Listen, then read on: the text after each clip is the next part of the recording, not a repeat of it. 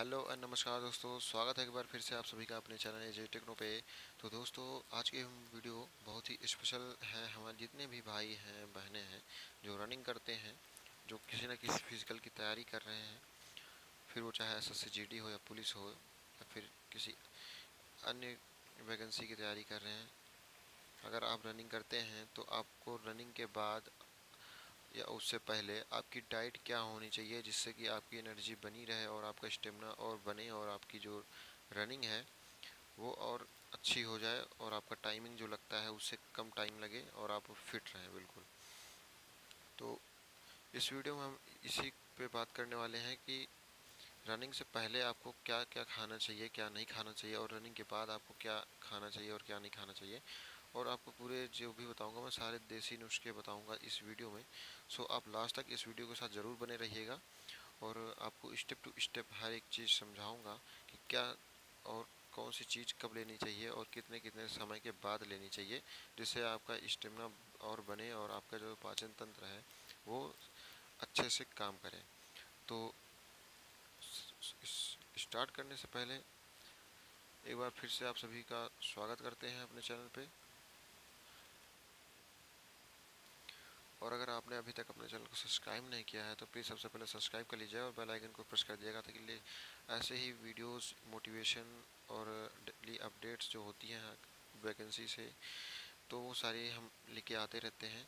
तो वो सारे सबसे पहले पाने के लिए आप चैनल से अभी जुड़ जाइए और सब्सक्राइब नीचे का बटन होगा, उसको दबा के बेल आइकन को प्रेस कर दीजिएगा, ताकि लेटेस्ट वीडियोस अपडेट सबसे पहले आप तक मिलते रहें। तो चलिए शुरू करते हैं।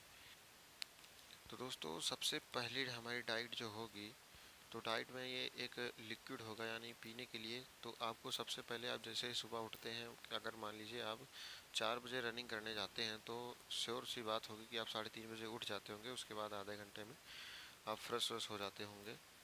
तो रनिंग करने से पहले, पाँच दस मिनट पहले आप हल्का सा एक गिलास गुनगुना पानी ले लीजिए, और उसमें एक चम्मच या आधा चम्मच शहद मिला लीजिए और उसको ज़रूर पीजिए। इससे होगा क्या कि आपका जो बॉडी है, उसमें आपकी रनिंग करने से पहले आपको जो बॉडी है, आपको वाटर की जो कमी महसूस होगी, वो कमी महसूस नहीं होगी और जो हनी यानी जो शहद होती है, इसमें ग्लूकोज की मात्रा पाई जाती है। आपको जैसे कि पता ही होगा तो ये आपको एक्स्ट्रा एनर्जी आपको प्रदान करती है रनिंग करने के लिए। तो आप इस चीज़ का ज़रूर सेवन करें। रनिंग करने से पाँच से दस मिनट पहले आप एक गिलास गुनगुना पानी में आधा चम्मच या एक चम्मच शहर ज़रूर डाल के पिए और आप जो मैं रूटीन बता रहा हूँ, सिर्फ़ पाँच दिन तक आप यूज़ कीजिए। उसके बाद अपने आप को खुद चेंजेस देखिएगा कि आखिर कितने चेंजेस होते हैं। तो देश तो ये सारे देसी नुस्खे हैं, आप इसको ज़रूर अप्लाई कीजिए। अब नंबर दो हम बात कर लेते हैं। आप जैसे ही रनिंग करके आ जाते हैं, वापस तो आपको 10 से 15 मिनट तक कुछ भी नहीं खाना है, ना ही कुछ पीना है, ठीक है? इस चीज़ को आप ज़रूर से ज़रूर ध्यान रखिए। रनिंग करने के 10 से 15 मिनट तक आपको कुछ खाना पीना नहीं है और आपने आपको थोड़ा सा नॉर्मल करने की कोशिश करना है कि आपका जो टेम्परेचर, बॉडी का टेम्परेचर जो बढ़ जाता है, उसको थोड़ा नॉर्मल करने की कोशिश करना है, ठीक है? तो उसके बाद फिर आ जाता है, नेक्स्ट नुस्खे की बात करते हैं कि अब आप मान लीजिए घर आ गए हैं तो आप घर आ गए हैं तो आपको सबसे पहले जो आपको पता ही होगा कि अंकुरित जो चने होते हैं और दालें होती हैं, सोयाबीन होती है, उसमें कितनी ज़्यादा प्रोटीन और विटामिन होती है, आपको ये चीज़ तो मालूम ही होगा। जैसे कि सोयाबीन में सबसे ज़्यादा विटामिन होती है।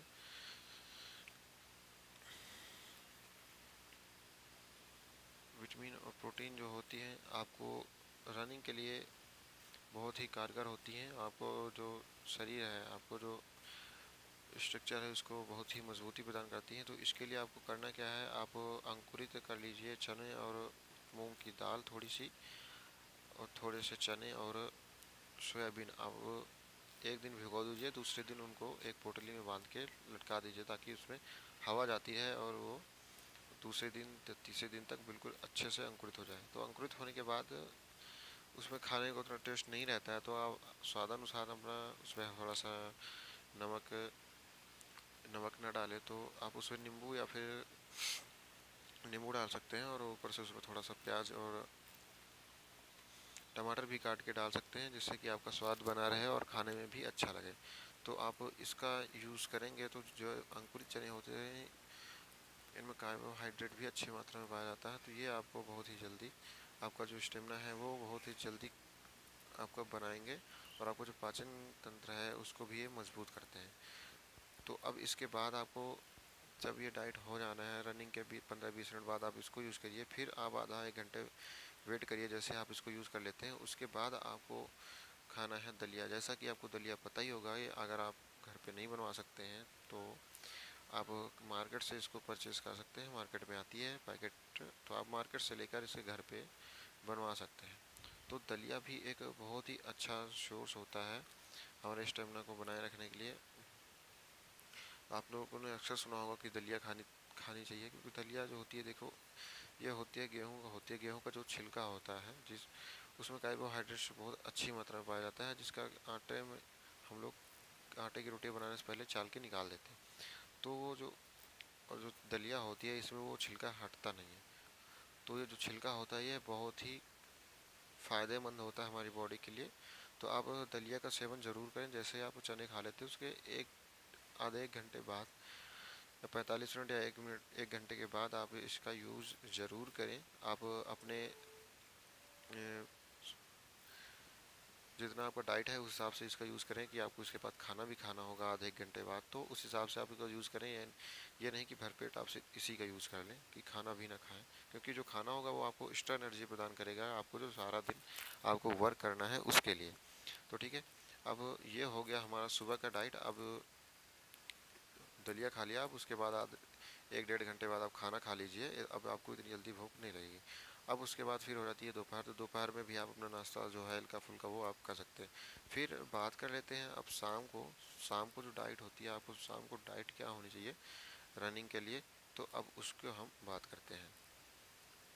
तो, तो शाम को अगर रनिंग करने जाते हैं तो आप रनिंग करने से करीब आधा घंटे पहले एक दो केला आप ज़रूर खा सकते हैं। तो आप ये कहेंगे कि केला खाने से तो वेट बढ़ जाता है।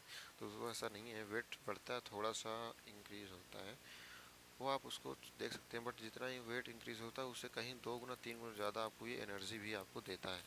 जिसमें से फैट सिर्फ़ चार ग्राम होता है और आपको यहाँ पे जो एनर्जी होती है 105 कैलोरी की एनर्जी आपको प्राप्त होती है। तो ये बहुत ही अच्छा सोर्स होता है। आपको एनर्जी के लिए। तो आप रनिंग करने से पहले दो केले या तीन केले तीन केले से ज़्यादा मत खाएँ। दो केले आप ज़रूर खा सकते हैं। खान, खाने के तुरंत बाद पानी मत पीजिएगा ताकि आपको जुकाम भी हो सकता है। खाने के आधा एक घंटे बाद आप चाहो तो पानी भी एक दो गिलास पी सकते हो। फिर आप रनिंग करिए और आप देखिए कि आपका स्टेमिना कैसा है आप रनिंग में स्टेप कैसे पड़ रहे हैं। आपको थकान महसूस नहीं होगी। और आप जब रनिंग करके आ जाते हैं तो उसके बाद आपको क्या करना है, आप वो आप यहाँ पे देखिए। इसके बाद आपको एक गिलास दूध में दो अंडे आपको ले लेने हैं, ऐसे कच्चे अंडे, उनको फोड़ के उसी में मिक्स कर लेना, ठीक है? एक गिलास दूध में दो अंडे मिक्स कर लेने हैं, उसके बाद इसको आप सेवन करें डेली रनिंग के 20 से 25 मिनट के बाद, इस चीज़ को ज़रूर ध्यान रखें, ठीक है?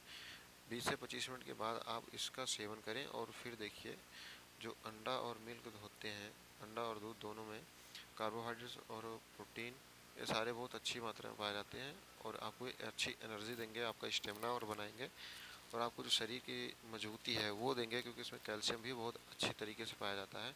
तो आपकी जो हड्डियों के लिए जो आवश्यक होता है कैल्शियम, वो आपको मिलेगा जिससे आपकी हड्डियों में बोन्स में कहीं भी दर्द नहीं होगा और टूटने फूटने से भी ये चीज़ अगर कहीं टूट फूट होती है तो बहुत जल्दी आपको वो चीज़ कवर कर लेती है। ठीक है? तो आप इस चीज़ का ज़रूर सेवन करें।